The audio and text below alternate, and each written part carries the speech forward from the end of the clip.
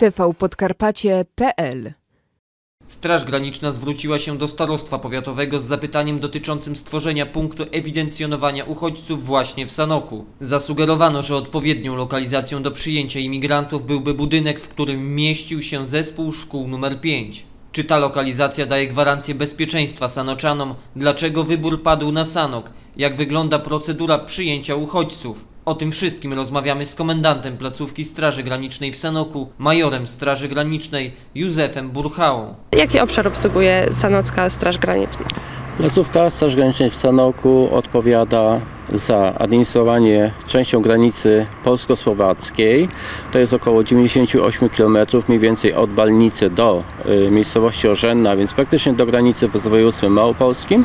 No i oprócz tego działamy na terenie y, kilku powiatów województwa podkarpackiego. To jest powiat e, jasielski, krośnieński, Mia- miasto powiatowe Krosno jest w naszej dyspozycji, powiat sanocki, strzyżowski, część powiatu rzeszowskiego, czyli gminy Błażowa, Dynów, miasto e, na prawach powiatu Dynów, e, część powiatu leskiego.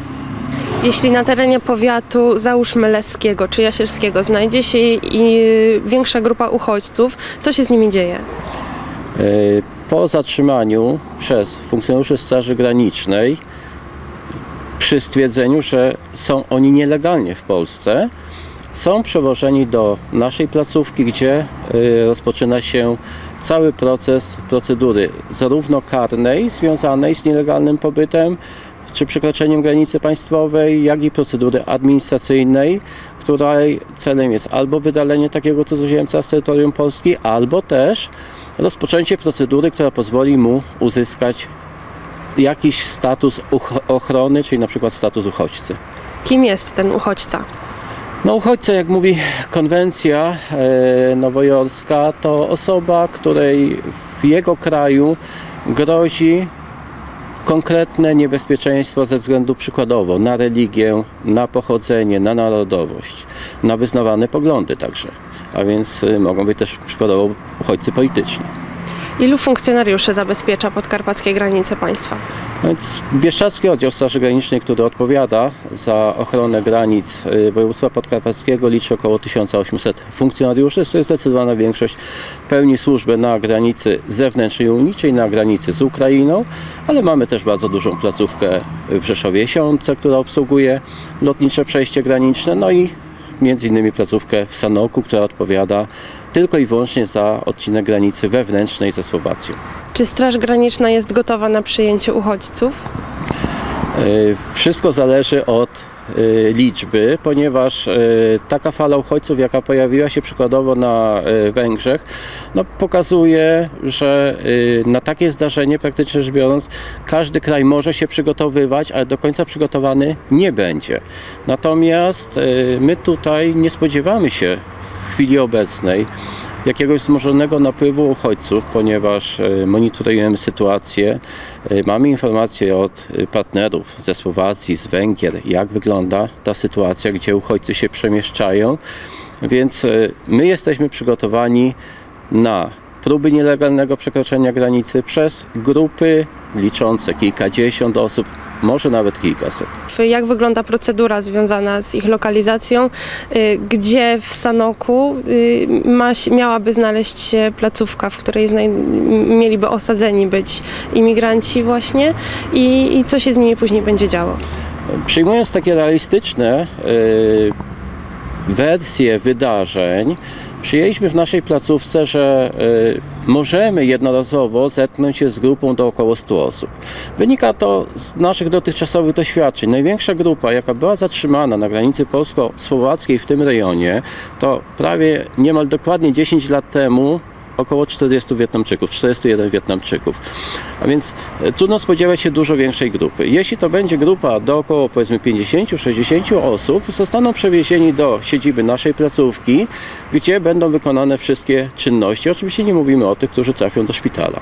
Natomiast jeśli to byłaby grupa do 100 osób, tak jak potencjalnie mogłoby się wydarzyć, wtedy wskazane byłoby skorzystać z innego obiektu i dlatego wystąpiliśmy do organów samorządu o pomoc we wskazaniu obiektu, najlepiej nieużywanego, z którego moglibyśmy skorzystać, gdzie można było bezpiecznie taką grupę 20-40 osób przetrzymać i dowozić do placówki celem wykonania tychże czynności, które wykonane być muszą. Dlaczego akurat konkretnie ten budynek szkoły, która znajduje się w centrum miasta?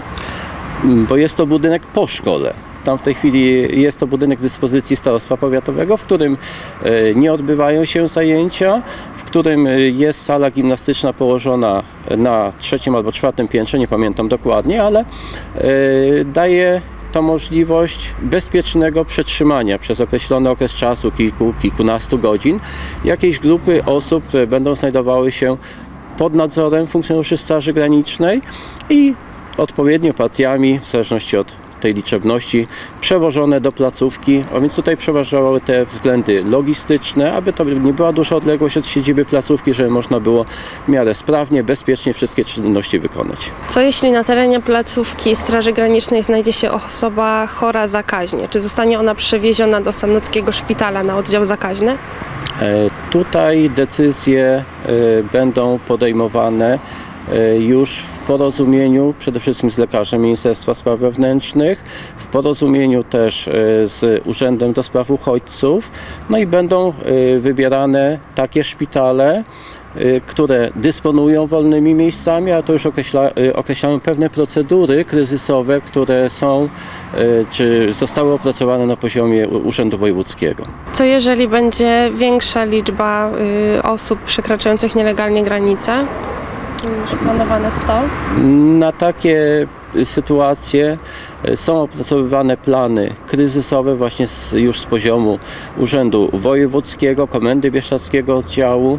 No i wtedy są różne scenariusze brane pod uwagę, między innymi wykorzystanie ośrodka strzeżonego dla cudzoziemców e, w Przemyślu. E, Także gdy był pojawił się kryzys związany z wojną na Ukrainie, był e, też rozpatrywany przykładowo scenariusz wykorzystania ośrodka szkoleń poligonowych w Nowej Dębie, gdzie jest, istnieje miasteczko kontenerowe, w którym również w zimie nawet można taką większą grupę, tam była mowa nawet chyba o 500 osobach, e, umieścić i e, wykonywać te czynności. Przy założeniu, że ci uchodźcy pojawią się w naszym mieście, jak długo będzie, y, bę- będzie ich pobyt tutaj trwał? Jeśli będziemy mieli do czynienia z osobami, które nie, y, nielegalnie znajdą się na terytorium Rzeczypospolitej Polskiej, więc przepisy prawa pozwalają nam taką osobę zatrzymać na okres do 48 godzin i w tym czasie musimy albo wykonać wszystkie czynności, które skończą się bądź przekazaniem osoby na terytorium Słowacji, jeśli byłoby to przekroczenie granicy ze Słowacji, na terytorium Ukrainy, jeśli z Ukrainy, bądź też wystąpić do sądu o umieszczenie w odpowiednim miejscu. Czy to jest ośrodek, czy to więzienie, bo, bo i takie przypadki mogą być, czy areszt. Mówił Pan, że jest mało realne, aby kilkaset osób czy, czy tysiąc osób e, nielegalnych imigrantów znalazło się na granicy polsko-słowackiej. Na ile realne są szanse, że na przykład jeżeli będzie wola zarządu powiatu sonockiego o udostępnieniu e, dawnej placówki szkoły dla imigrantów, na ile jest realne, że ta szkoła będzie tak wykorzystana?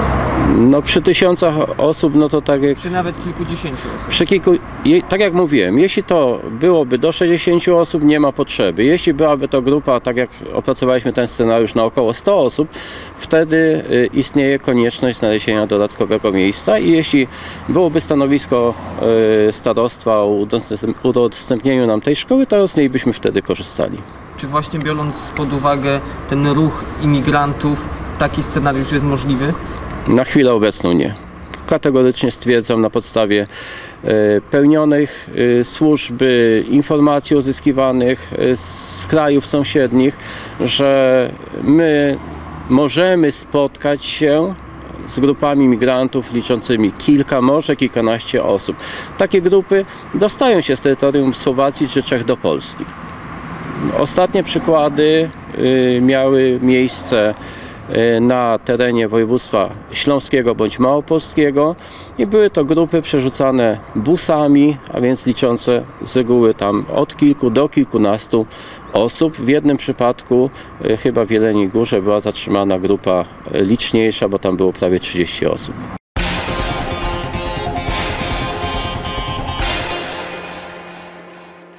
tvpodkarpacie.pl